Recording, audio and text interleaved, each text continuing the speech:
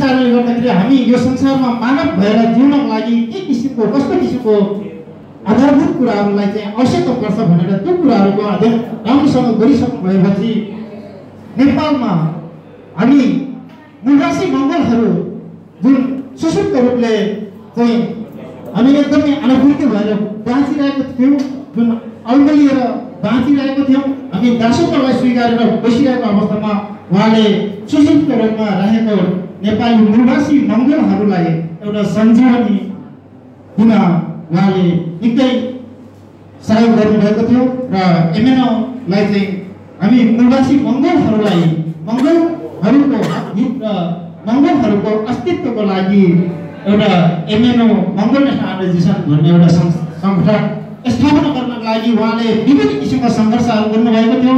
उहाँले विभिन्न किसिमका लेखहरू प्रकाशन गर्दै उहाँलाई यो देशका एकात्मकवादी शासक दलहरूले उहाँलाई जेल जीवनसम्म पनि पुर्याउन पुर्याउनु भएको थियो र उहाँले तिन वर्षको जेल जीवनपछि उन्नाइस सय उनानब्बे जनवरी एकमा मङ्गल नेसनल अर्गनाइजेसन भन्ने एउटा सङ्गठन हामी निवासी मङ्गलहरू असी प्रतिशत अहिलेको निवासीहरूको साझा सङ्गठन उहाँले सङ्गठित गरेर उहाँ जेलबाटै भद्रकोट जेलबाटै उहाँले स्थापना गर्न सफल हुनुभएको थियो र विभिन्न गर्दै क्रममा गर्ने क्रममा विभिन्न यातनाहरू पनि सार्नु परेको थियो।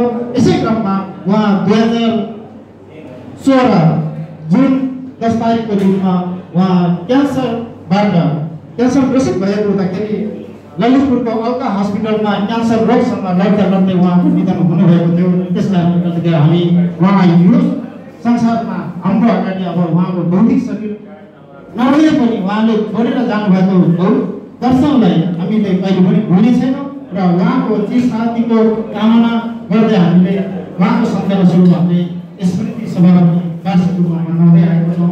र हामी आज यस प्रसिद्ध कार्यक्रम पनि छ। मङ्गल नेसनल यहाँ विशेष गरेर धेरै नयाँ साथीहरूले धेरै कुराहरू राख्नु भएको छ। मङ्गल नेसनल अर्गनाइजेसनको बारेमा मङ्गल नेसनल अर्गनाइजेसन भनेको हामी असी प्रतिशत अहिलेको निवासी मङ्गलहरूको एउटा साझा सङ्गठन जुन चाहिँ हामी मङ्गलहरूको अस्तित्वको लागि दासत्वको लडाइँ लड्ने एउटा लोकतान्त्रिक वैचारिक सङ्गठन हो हामी वैचारिक रूपमा चाहिँ क्रान्ति गर्छौँ त्यस कारणले गर्दाखेरि मङ्गल नेसनल अर्गनाइजेसन भनेको के हो त मङ्गल नेसनल अर्गनाइजेसनले मङ्गल नेसनल अर्गनाइजेसनको सिद्धान्तहरूको बारेमा केही कुराहरू चाहिँ हाम्रो प्रमुख अतिथिज्यूले पनि गरिसक्नु भएको छ विशेष गरेर आजभोलि हाम्रो समयको पाबन्दी पनि छ त्यस कारणले गर्दाखेरि सबै कुरा चाहिँ एकैचोटि एकै एउटै प्रशिक्षण कार्यक्रममा पनि भन्न सकिँदैन।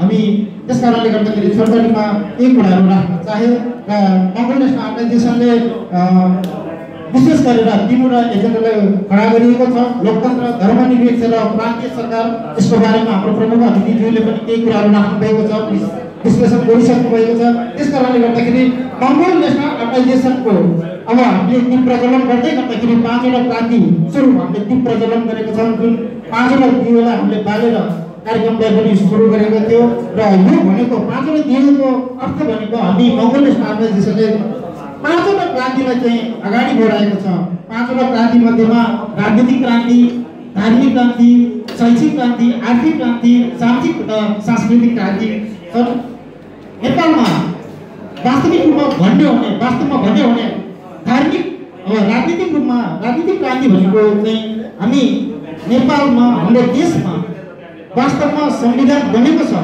संविधान बन्यो भन्दैमा र ठुला ठुला घरहरू ठुला ठुला राम्रो कति भवनहरू र रोडहरू बन बन्यो भन्दैमा हाम्रो हामी निवासी मङ्गलहरू राजनीतिक रूपमा एकदमै विज्ञ भइसक्यो र सक्षम भयो भनेर हामी भन्न सक्दैनौँ किनभने नेपालको राजनीतिक अवस्था भनेको एकदमै हामी मङ्गलहरूलाई एकदमै दबाएर हामीलाई शासित गराएर एकदमै नाजुक अवस्थामा राखेको छ। जुन राजनीतिक नेपालको राजनीति भनेको ब्राह्मणवादभित्र अड्किएको जुन मनुस्मृति महाभारत जस्ता यस्ता अब कल्पित काव्यहरूमा एउटा षड्यन्त्रपूर्ण तरिकाले चाहिँ हामीलाई लादिएको छ। जुन राजनीतिकले चाहिँ हामी निवासी मङ्गलहरूको हितमा र नेपालको हितमा कहिले पनि चाहँदैन। यो किसिमको राजनीतिक जुन राजनीतिक एकदमै ब्राह्मणवादभित्र अल्झिएको छ यो एउटा षड्यन्त्रपूर्ण छ। हामी तपाईँ हामीले बुझ्न सकिन्छ देख्न सकिन्छ तपाईँ हाम्रै अनुहारका साथीहरू कतिपय साथीहरू अब नेपाली काङ्ग्रेस एमाले माओवादी वैसियल युथ फोर्स जस्ता विभिन्न किसिमका पार्टीको दस्तावेजहरू बोकेर हामी आफ्नै दाजुभाइभित्र आफ्नै एउटै अनुहारका दाजुभाइभित्र पनि टाउको फोराफोर गरेर त्यो पार्टीलाई यो पार्टी गरेर हिँडिरहेको अवस्था छ यो एकदमै बाहुनवादको एउटा ग्रामीणवादभित्र अल्झिएको राजनीतिक जुन राजनीति चाहिँ एकदम षड्यन्त्रपूर्ण तरिकाले गरिएको छ त्यस कारणले यो कुराहरूलाई पनि हामी हरेक हरेक तह र तर्फबाट यो किसिमको परिवेशलाई चाहिँ एकदमै हामीले सुधार्नुपर्ने यो किसिमको षड्यन्त्रपूर्ण राजनीतिलाई चाहिँ हामीले भण्डावर गरेर हामी अगाडि बढ्नुपर्ने अवस्था छ। अनि अर्को छ आर्थिक क्रान्ति। आर्थिक क्रान्ति चाहिँ आर्थिक रूपमा नेपाल कमसेकम हामी लगभग लगभग हामी खोक्रो अवस्थामा पुगिसकेको छ किनभने नेपालको शासन प्रणाली जति पनि शासक वर्गहरूले अहिले अहिले जुन किसिमको शासन प्रणाली चलाइरहेको छन् यहाँ एकदमै लुटतन्त्र लुटतन्त्र र एकदमै भ्रष्टाचारी मौलाएको एउटा शासन पद्धति मात्रै चलाइरहेका छन् उनीहरूको आरोग्य भरौटे सास आसेपासेले मात्रै पोषण काम गरिरहेको अवस्था हो र जबसम्म देश समृद्ध बन्दैन। समृद्ध देश बन्नको लागि चाहिँ हामी आर्थिक रूपमा एकदमै बलियो हुनुपर्छ। तर नेपालको इतिहासलाई हेर्ने हो भने हामी उन्वासी मङ्गलहरू असी प्रतिशत भनेर भनिरहेको छ र बिस प्रतिशत खस आर्यहरू भनिरह भनिरहेको अवस्था छ। तर नेपालको भूमि भनेको चाहिँ साठी प्रतिशत भूमि। यही ब्राह्मीणवादले एकदम विभिन्न जहाजेल गरेर उहाँहरूकै हातमा खस आर्यहरूकै हातमा शासक वर्गहरूकै हातमा राखिएको छ। र बाँकी रह्यो तिस प्र चालिस प्रतिशत तिस प्रतिशत चाहिँ खोला नाला वन जङ्गलहरूले ढाकिएको छ भने दस प्रतिशत मात्रै बाँकी रह्यो। दस प्रतिशत भित्र पनि। तिन प्रतिशत भनेको चट्टान हिउँहरूले भरिएको छ र सात प्रतिशत मलिलो भूभाग अथवा अलि नराम्रो भूभागहरू चाहिँ हामी असी प्रतिशत भनिएको मङ्गोलहरूको हातमा राखिएको छ। यो किन भयो भन्दाखेरि जब जतिखेर दुई हजार पन्ध्र सालमा राजा महेन्द्रको हातमा शासन सत्ता पुग्यो र सत्र सालमा कु गरेर अनि उन्नाइस सालमा हिन्दू राष्ट्र घोषणा गरिसकेपछि उसले नागरिकता विधेयक लियो र नागरिकता विधेयक लिएपछि चाहिँ भूमि सुधारको नाममा उहाँले भूमि सुधार मन्त्रालय गठन गरेर दुई हजार बाइस सालमा चाहिँ यो देशका मलिलो माटोहरूलाई चाहिँ यो देशका यो देशका सम्पूर्ण मलिलो मा माटोहरू धेरै जसो भूभागलाई चाहिँ उनीहरूकै हातमा पार्ने त्यो षड्यन्त्र एउटा भूमाविया षड्यन्त्र गरिएको थियो। त्यस कारणले गर्दाखेरि हामी नेपालमा चाहिँ आर्थिक रूपमा एकदमै कमजोर अवस्थामा छौँ किनभने हामीसँग प्रशस्त भूमि नै छैन हाम्रो उर्वरशील माटोहरू नै उनीहरूको हातमा छ। त्यस कारणले गर्दाखेरि हामी एकदमै नाजुक अवस्थामा छौँ आर्थिक स्थितिमा पनि भएको चिजहरूलाई पनि राम्रोसँग मलजल समयमा दिन सकिरहेको छैन। यहाँको शासन शब्द प्रणाली अलिकति एकदमै नाजुक अवस्थामा जुन जीर्ण अवस्थाबाट चाहिँ गुज्रिरहेको अवस्थाले गर्दाखेरि हामी आर्थिक रूपमा बलियो बनाउनको लागि बढ्नको लागि चाहिँ नेपालमा के देख्छ भने एकदमै hydro power sector agriculture sector tourism सेक्टरलाई देखिन्छ। तर हामी हामीसँग इन्भेस्टमेन्ट गर्नको लागि एकदमै समस्या छ। त्यस कारणले एकदमै लो इन्भेस्टमेन्टमा एकदमै हाई प्रोफिट ल्याउने हिसाबले हामी क्रान्ति गर्ने हो भने एकदमै एग्रिकल्चर सेक्टरलाई चाहिँ हामीले भविष्य देखेको छौँ। तर पनि समस्या के छ त हाम्रो हामी असी प्रतिशत आयुध मूलवासी मङ्गलहरूको हातमा उर्वरशील जग्गा एकदमै कम्ती अवस्थामा छ। त्यस कारणले गर्दाखेरि पनि यो कुराहरू एकदमै हामीले मनन गर्नुपर्ने अवस्था छ। अर्को छ शैक्षिक क्रान्ति। शैक्षिक क्रान्तिलाई पनि कङ्ग्रेस त्यसले किन अगाडि बढी बढाएको छ भने हामी एक्काइसौँ शताब्दीको मूलवासी मङ्गोलहरू अझै पनि हाम्रो शैक्षिक स्तर एकदमै खस्किएको अवस्थामा छ अहिलेको शैक्षिक स्तर नेपालको जुन किसिमको गुणस्तर छ त्यो शिक्षाको गुणस्तर भनेको एकदमै कमजोर छ अहिलेको एक्काइसौँ शताब्दीको युगमा पनि हामी आइटी टेक्नोलोजी इन्फर्मेसन टेक्नोलोजीभित्र बसेर पनि अहिले कुनै पनि चिजसँग हामीले कम्पिटिसन गर्न सक्ने अहिलेको युगमा केही पनि सेक्टरसँग कुनै पनि सेक्टरसँग अहिलेको हैसियत जुन शिक्षाको हैसियत छ मार्न सकिएको अवस्था होइन त्यस कारणले गर्दाखेरि शैक्षिक रूपमा पनि हामी बलियो हुनुपर्ने र उकासिनु पर्ने अवस्था हो। जबसम्म हामी शैक्षिक रूपमा राम्रोसँग विद्या गर्न सक्दैन तबसम्म हामीले देशलाई समृद्ध र शक्तिशाली बनाउनतिर हामी जान सक्दैन जान सक्दैन। अब अर्को छ धार्मिक क्रान्ति। धार्मिक क्रान्ति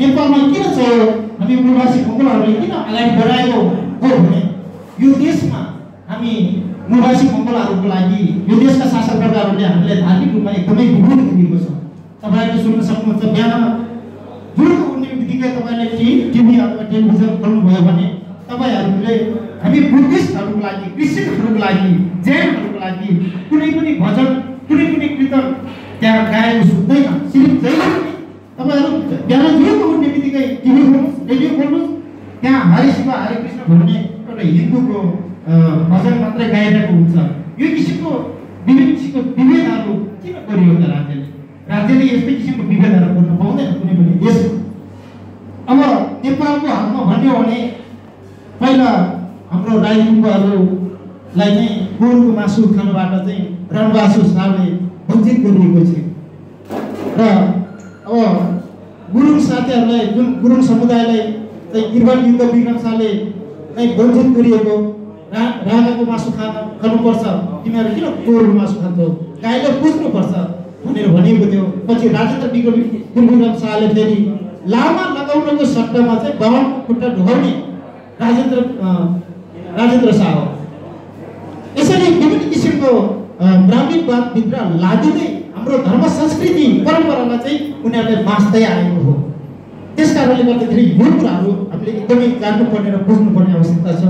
हामी धार्मिक रूपमा पनि हामी स्वतन्त्रता छैनौँ नेपालमा।